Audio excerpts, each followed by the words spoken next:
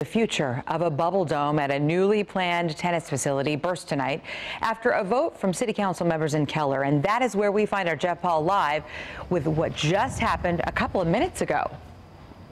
Well, Kaylee, many uh, tennis fans and supporters of the Birch leave here tonight, Keller Town Hall, very disappointed after hours of debate and back and forth and discussion on city council. There wasn't enough votes to get this amendment approved for those two larger bubble domes. Now, take a look.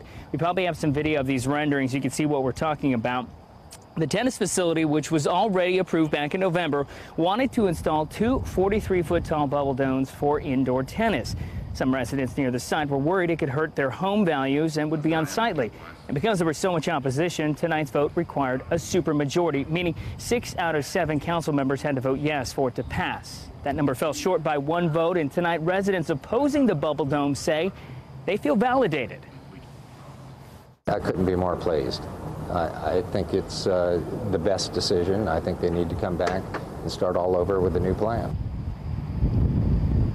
Now, we did try speaking with the Dent family tonight regarding the project. They're heading at. former tennis pros. They declined to comment. No word on what will happen to the future of this project. But as it stands currently right now, it sounds like it's not going anywhere. Reporting live here.